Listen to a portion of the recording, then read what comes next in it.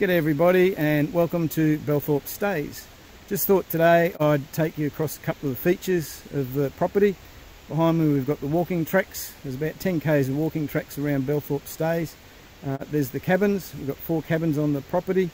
Uh, all the birds of course. A lot of people come here just because of the birds. Whole great variety including rainforest and open habitat, fringe areas, riparian.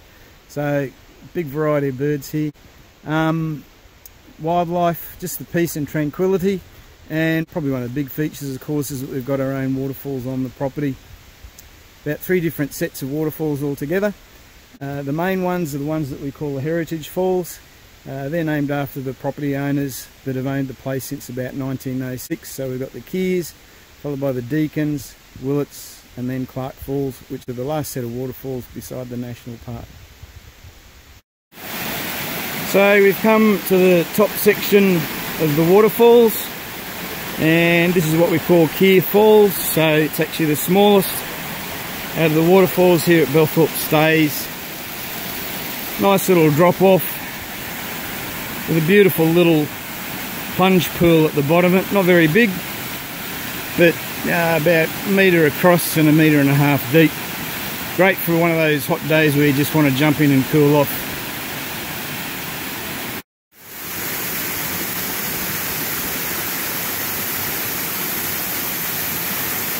We've now come down to the bottom of Deacon Falls, which is the second waterfall in the Heritage Falls group.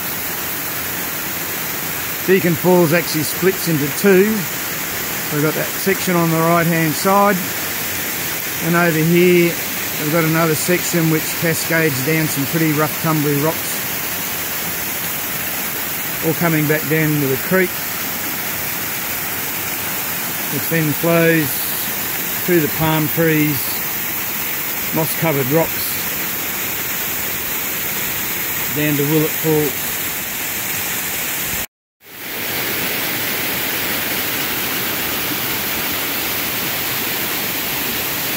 We've now come down to the bottom of Willet Falls.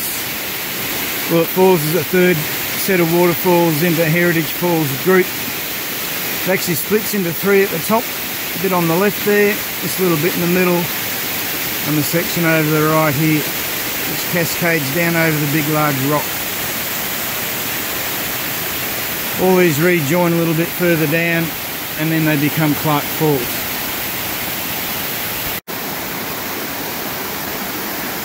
Here we are in the last section of the Heritage Falls group, which is Clark Falls. Beautiful waterfall. There's a fair way up there.